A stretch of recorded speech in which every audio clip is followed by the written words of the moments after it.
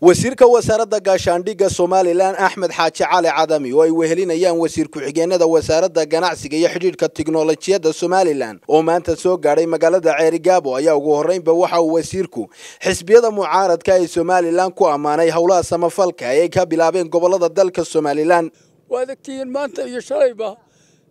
waxaa la bilaabay sadaqadii wax la wanifanba waxayse dhinac u dhacdaba masaakiintii baa loo soo jeestay wixii ilaahay u calfay baa la siinayay oo loo qaybinayey xisbigii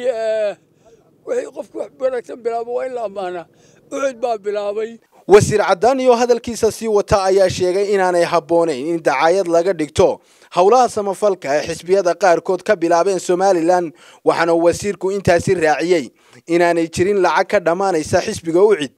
oo wax walba halka dacaad baa laga samaynayaayo talo ma lacagtii baa godo ma lacagtaa yaraato lacagta ucudmaba yaraato sidaa ay tahay waa waa xisbi run ahaantii xagga diiniyan iyo xagga qowmiyaddaba aad iyo aada ugu adag weeyaan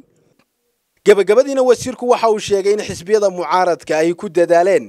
in maalmaha ololaha qaarkood samafal ahaan dadka danyartaa ugu beddelaan islamarkaasina taasi tahay tallaabo wanaagsan oo loo baahan yahay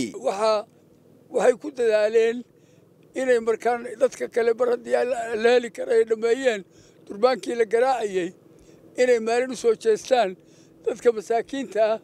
oo la yidhaah waa yowmu sadaqa waa maalintii masaakiinta la dhegin jiray bay yidhaahdeen. Haddana maanta waxaan arkayaa dabadaaba loo qabto waxa wanaagsan waa la yskaga daydaa. Wayna fiican tahay in ummadda masaakiinta ah xeryaha ku jira wixii loo heli karo oo noloshooda aba in iyagana loo qabtaa waa laga maarmaan faral bayna ku tahay sunne ma aha. Si kastaba ahaatee hadallada ka soo yeedhaya wasiirka wasaaradda gaashaandhigga somalilan ayaa shaki gelinaya xisbiga uu taabacsan yahay. Cabdiraxmaan axmed ilsir star t v magaalada ceergaabo